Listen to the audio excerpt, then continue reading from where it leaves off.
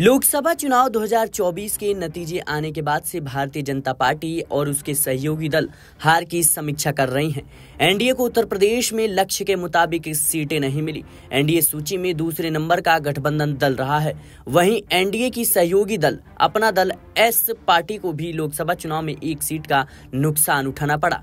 इसी क्रम में अपना दल एस की राष्ट्रीय अध्यक्ष और केंद्रीय मंत्री अनुप्रिया पटेल के निर्देश पर यूपी और एमपी की सभी कार्यकारिणी भंग कर दी गई। है। आपको बता दें कि अपना दल एस बीजेपी गठबंधन में प्रदेश की दो सीटों पर चुनाव लड़ रही थी। जिसमें से एक सीट पर जीत दर्ज हुई। इसको लेकर अपना दल सोनेलाल के राष्ट्रीय सचिव मुन्नर प्रजापति की ओर से एक पत्र जारी किया गया है।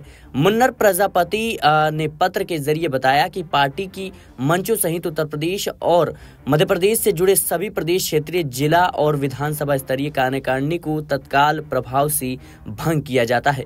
उन्होंने कहा कि सभी कार्यकारिणी भंग करने की कार्रवाई अपना दल एस की राष्ट्रीय अध्यक्ष अनुप्रिया पटेल के निर्देश पर किया जा रहा है। आपको बता दें कि केंद्रीय मंत्री अनुप्रिया पटेल की पार्टी अपना दल सोने लाल ने हाल ही में संपन्न हुए लोकसभा चुनाव, यूपी की दो सीटों पर चुनाव लड़ा था। बीजेपी गठबंधन में अनुप्रिया पटेल ने खुद मिर्जापुर सीट और पार्टी की विधायक रिंकी कौल ने रॉबर्टगंज सीट पर चुनाव लड़ा था।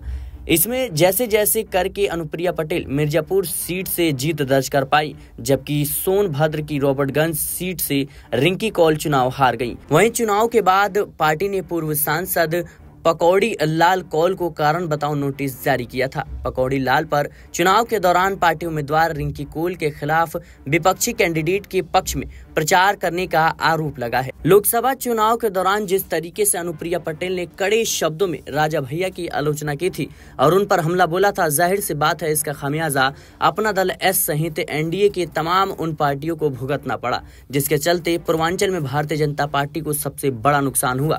फ़िलहाल अनुप्रिया पटेल अपनी हार का समीक्षा कर रही हैं और एनडीए के तमाम वो दल, जिनको इस लोकसभा चुनाव में नुकसान का सामना करना पड़ा, अब वो अपने हार को लेकर के चिंतन मंथन में जुटे हुए हैं। फ़िलहाल के लिए इस खबर में इतना ही। देश और दुनिया की तमाम खबरों के लिए बने रहे नेशनल पॉलिटिकल बाइट के साथ।